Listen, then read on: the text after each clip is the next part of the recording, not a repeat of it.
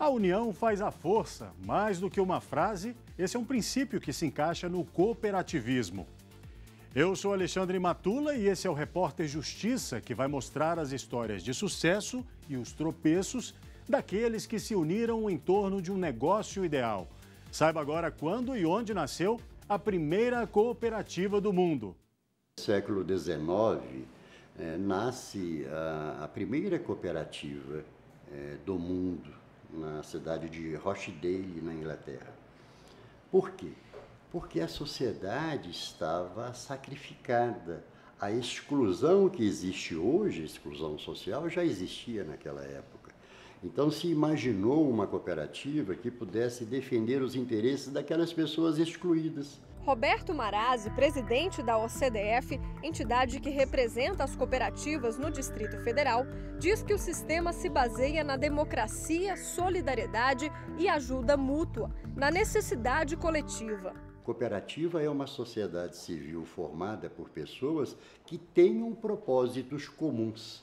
Naquela época, 1890, eh, nasce a Cicobi, hoje Cicobi Pioneira, é uma cooperativa que tem no Rio Grande do Sul. Ela trabalha na área do crédito, ou seja, funciona como se fosse um banco, mas não é banco, e viabiliza, como de resto viabilizam as mais de 1.800 cooperativas de crédito que há no país, situações de ordem financeira para os associados. Caso de seu Orcílio, ele investiu em 1997, época em que era produtor rural e hoje usa os serviços bancários e ainda recebe os resultados da cooperativa de crédito de que participa. É a nossa participação anual, né, porque nós somos associados e temos aí a, a um percentual que, que é rateado né, a todos os associados. Ajuda bem, viu? Quebra o galho, vai ajudando. Todo ano aumenta, é colocado, é acreditado na nossa conta. Ao final do ano é feito o balanço, são apurado, é apurado o resultado Existem umas reservas que nós precisamos constituir, inclusive uma reserva legal, e as sobras são rateadas, são divididas entre os associados proporcionalmente ao movimento de cada um. Para quem não acredita que a dificuldade pode fazer com que as pessoas se movam em direção ao sucesso, é só ouvir a história do Cicobi Brasília. É o próprio presidente quem conta. A antiga Cred Brasília nasceu de uma crise. No curso da década de 90, a agricultura nacional estava numa crise muito grande, é, sucateada no seu parque de máquinas, endividada, quase que inviável. As portas dos bancos tradicionais começaram a se fechar e nós, no sindicato rural aqui de Brasília, hoje é federação, nos reunimos e passamos a discutir os nossos problemas. E alguém propôs, por que não organizar uma cooperativa? Vai ser difícil? Vai, mas temos que começar. E começamos.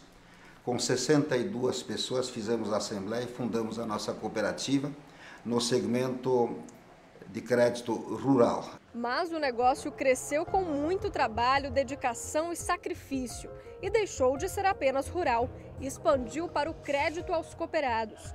O cooperativismo é regido pela Lei 5.764 de 71 o crédito é apenas um dos 13 ramos. O Brasil tem hoje 1.200 cooperativas de crédito. A atividade que movimenta dinheiro tem legislação própria e é fiscalizada pelo Banco Central.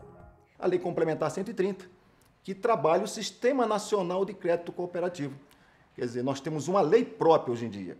Como os bancos têm uma lei própria, chamada Lei 4595, que é a lei da reforma bancária, a lei de 1964, hoje o cooperativismo tem uma lei também é, reconhecida pelo Congresso Nacional. Zaqueu é avicultor. Ele acreditou no sucesso do negócio e hoje, como cooperado, faz questão de participar dos rumos da cooperativa.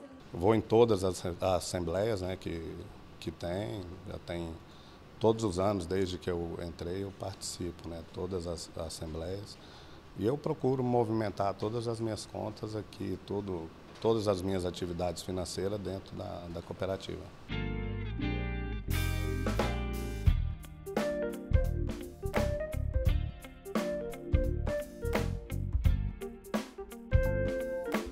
E a 50 quilômetros de Brasília está uma das maiores cooperativas do Centro-Oeste.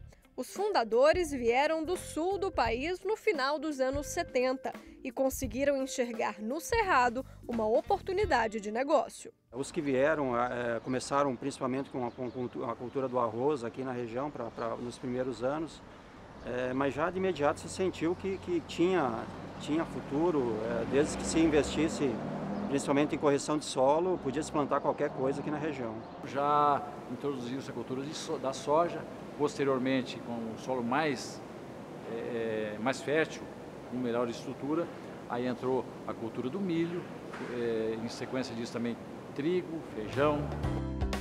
A cooperativa agropecuária do Distrito Federal começou com 100 associados. Hoje são 120 e mais os funcionários. Ao todo, quase 250 pessoas trabalhando em conjunto para a produção de grãos e cereais.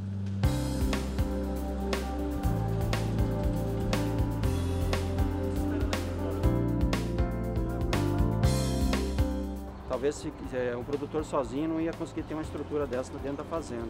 Então aqui você dilui custos, é, tudo que é feito aqui é feito pelo, pelos donos, é, to, todos os associados são na realidade donos, ah, desde a diretoria, é, eu sou um associado também, eu não sou só diretor, mas sou um associado da cooperativa. É, e no final do exercício, o que sobrar, se der lucro é, na empresa, que ela é distribuída. Com as sobras, ou seja, o lucro, que esse ano foi de 800 mil reais, os cooperados decidem em assembleia como vão reaplicar o dinheiro. A cooperativa é regida por uma Assembleia Geral Ordinária que decide é, todos os destinos da cooperativa, claro que baseado no que o Estatuto prevê. Mas a Assembleia tem poderes, inclusive, para até alterar os estatutos quando ela for convocada para isso. E a Assembleia então aprova, todo ano é feita a Assembleia Ordinária, ela aprova o balanço do Conselho de Administração e ao fazer isso, então ela orienta o Conselho de, de, Administração no que proceder no ano que, que começa. Né? Os valores do cooperativismo se baseiam na democracia, se baseiam na solidariedade, na ajuda mútua, no fazer com que as pessoas de bem se reúnam para é, resolver uma dificuldade que tenha o grupo, não uma pessoa. A cooperativa é sempre pensada de forma coletiva. Hoje, além do DF, a cooperativa tem associados em Goiás, Minas Gerais e até em Roraima. Vários produtores pequenos e médios, eles entregam a produção da cooperativa, ganham volume e com isso, ganhando volume, eles conseguem padronizar o produto deles de formas que esse produto possa ser exportado eh, tem qualidade para exportação para todo mundo.